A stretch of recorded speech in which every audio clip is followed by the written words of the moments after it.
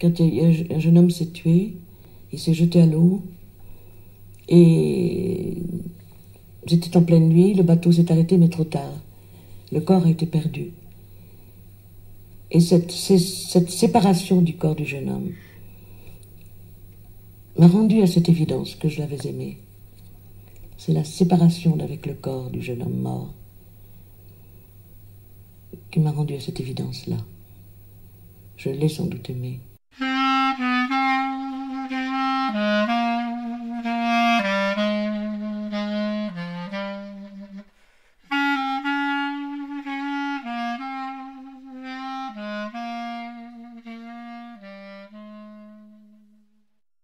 Revue Rue Saint-Ambroise et l'association Rue du Conservatoire vous proposent Moderato Cantabile de Marguerite Duras.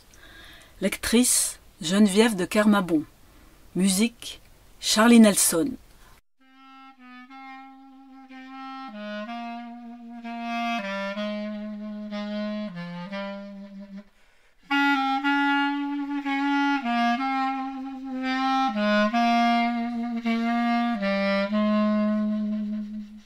Veux-tu lire ce qu'il y a d'écrit au-dessus de ta partition? cria la dame.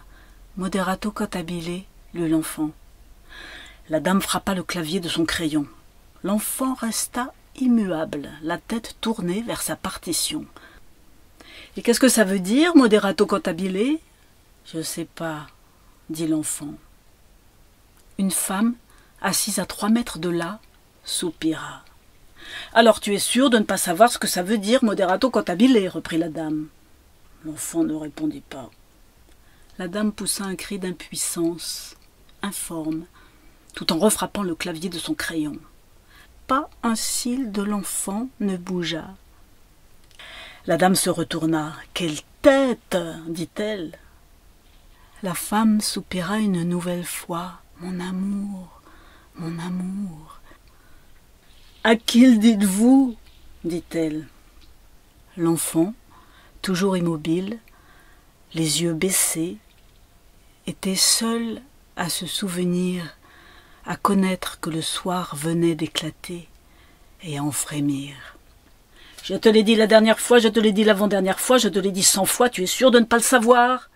L'enfant ne jugea pas bon de répondre. La dame reconsidéra une nouvelle fois l'objet qui était devant elle. Sa fureur augmenta. Ce qu'il y a, dit-elle les dents serrées, ce qu'il y a, c'est qu'il ne veut pas le dire. La femme aussi reconsidéra cet enfant. Je voudrais te donner tout ce que le monde comporte de choses à ta convenance, mon amour. Dis-le, tout de suite, hurla la dame. L'enfant ne témoigna aucune surprise. Il ne répondit pas davantage. Alors la dame frappa une troisième fois sur le clavier, mais si fort que le crayon se cassa. Tout à côté des mains sacrées de l'enfant qui, à peine écloses, rondes, laiteuses encore, fermées sur la nuit noire de leur vouloir, ne bougèrent pas. C'est un enfant terrible, osa la femme, avec timidité. Non seulement toutes les choses à ta convenance, mais aussi les autres, celles un peu moins à ta convenance, que tu t'en régales et que tu puisses t'en reposer ensuite, mon amour. L'enfant tourna la tête vers elle, vite, le temps de s'assurer de son existence. Puis il reprit sa pose d'objet face à la partition. Je ne veux pas savoir s'il est terrible ou non, reprit la dame. Avec moi, il faudra qu'il obéisse, ou bien. La fenêtre ouverte donnait sur la mer. Cet enfant-là, si têtu, vivait dans une ville au bord de la mer. Une dernière fois, tu es sûr de ne pas le savoir? Une vedette passa dans le cadre de la fenêtre ouverte. L'enfant ne répondit pas. Il entendit la vedette. Elle lui passa dans le sang, pour ainsi dire mais il ne la vit pas, tourné qu'il était toujours vers l'immensité de la liberté. Et le rose de la journée finissante colora le ciel tout entier. Sûr? Vraiment? Une dernière fois, sûr? Non seulement les choses un peu moins à ta convenance, mais aussi les autres, celles pas du tout à ta convenance, mon amour, afin que tu connaisses aussi l'ombre que peut projeter le bonheur, et que tu puisses en quelque sorte t'y rafraîchir, mon trésor, avant d'en ressurgir à nouveau. La dame s'étonna sans doute de tant d'obstination. Sa colère s'infléchit, et elle se désespéra de si peu compter aux yeux de cet enfant que d'un geste pourtant elle eût pu réduire à la parole, que l'aridité de son sort soudain lui apparut. Quel métier Quel métier Quel métier gémit-elle. La femme ne releva pas, mais sa tête s'inclina un peu de la manière d'en convenir. Mon amour, l'océan tout entier n'y suffirait pas. L'enfant, lui, ne bougea pas davantage. Les couleurs du couchant devinrent tout à coup si glorieuses que sa blondeur s'en trouva modifiée. La vedette en eut enfin fini de traverser le cadre de la fenêtre ouverte. Et le bruit de la mer s'éleva, sans borne, dans le silence de l'enfant. Moderato, l'enfant releva enfin sa main, la déplaça et gratta légèrement son mollet dans un geste de grande désinvolture. Je sais pas, dit-il, après s'être gratté. C'est facile pourtant, dit la dame, un peu calmée. Elle se moucha. Quel enfant j'ai là dit la femme joyeusement. Tout de même, mais quel enfant ai-je fait là Et comment se fait-il qu'il me soit venu à moi, précisément, avec cet entêtement La dame ne crut pas bon de relever tant d'orgueil. Ça veut dire, dit-elle écrasée, pour la centième fois, ça veut dire modéré et chantant. Modéré et chantant, reprit l'enfant totalement en allée. Où? La dame se retourna. Je vous jure. Terrible, affirma la femme en riant. Je suis une femme qui n'est pas tellement tellement heureuse, comme vous le savez, et voilà qu'en plus, il me fallait cet enfant, têtu comme une chèvre. Mon amour, en plus de l'océan, des plages sont là pour toi, et des coquillages je t'en cueillerai par-dessus le marché. Mon amour. Recommence, dit la dame. Mais l'enfant ne bougea pas. Mais recommence donc. L'enfant ne bougea pas davantage. Le bruit de la mer recommença à se faire entendre. Dans un dernier sursaut, le rose du ciel augmenta. Je ne veux pas apprendre le piano, dit enfin l'enfant. Dans la salle d'un café, en bas de l'immeuble, un cri de femme retentit. Le bruit de la mer en fut brisé. Qu'est-ce que c'est? cria l'enfant. Le bruit de la mer ressuscita de nouveau, mais le rose du ciel commença à pâlir. Rien, dit la femme. Mais elle tremblait, elle aussi. La dame hocha la tête sans les regardant tous deux. Quelle nervosité déclara-t-elle. La femme n'y prit pas garde, toute tendue vers l'enfant. Je mourrai pour te soustraire au sort commun, mon amour. Mon amour, je t'apporterai la musique dans un plateau. Pourquoi? demanda-t-elle. Elle frissonnait. Les mains de l'enfant tremblaient elles aussi pour la même raison, d'avoir eu peur du cri. Ça sert à rien, dit-il dans un murmure. D'autres cris alors relayèrent le premier, mais d'une actualité déjà dépassée, rassurante même. La femme se leva. Qu'est-ce qui sert à quelque chose? dit-elle pour son enfant tout seul. La dame hocha la tête, la désapprouvant de tant de douceur. Et le crépuscule commença à balayer la mer. Le ciel s'obscurcit. Il faut, dit la dame, il faut.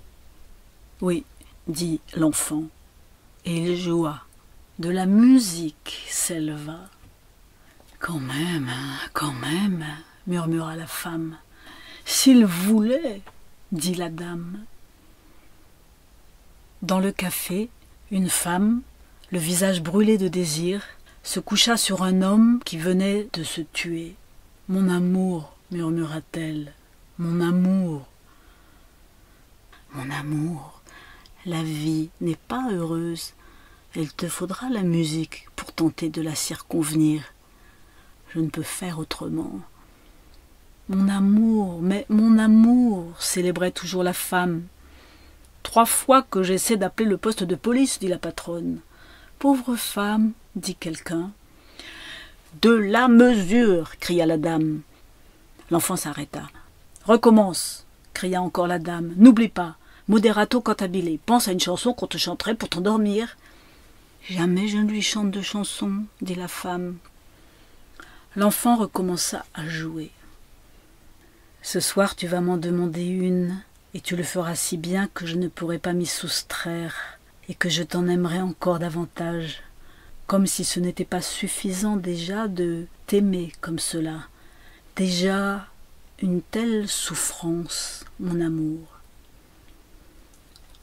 La femme, dans son délire, se vautra sur le corps de son amant de façon scandaleuse.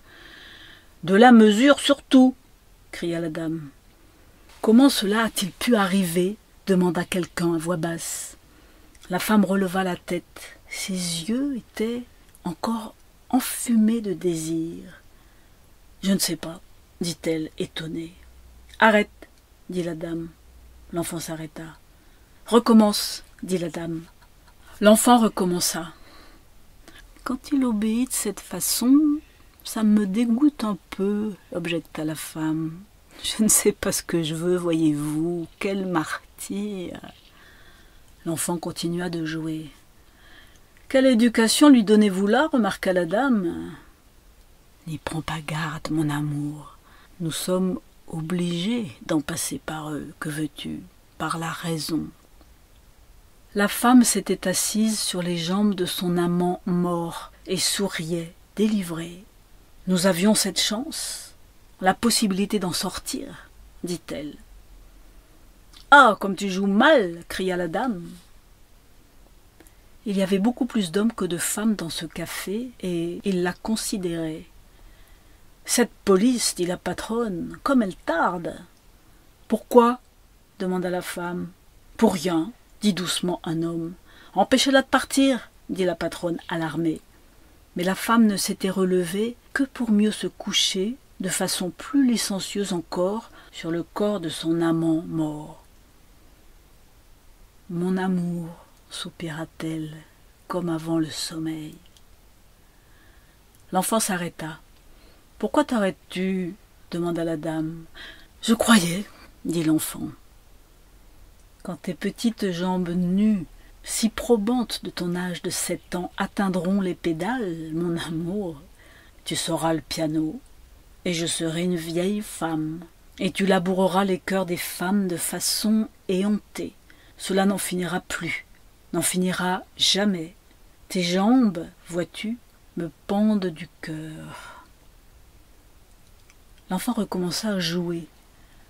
Par la fenêtre ouverte, sa musique s'en allait échouer sur le port et jusque dans la salle du café.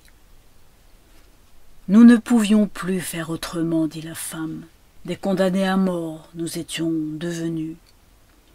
La dame proclama la leçon terminée pour ce jour-là. Vous aurez beaucoup de mal avec lui, dit-elle. C'est déjà fait, dit la mère. Déjà il me dévore.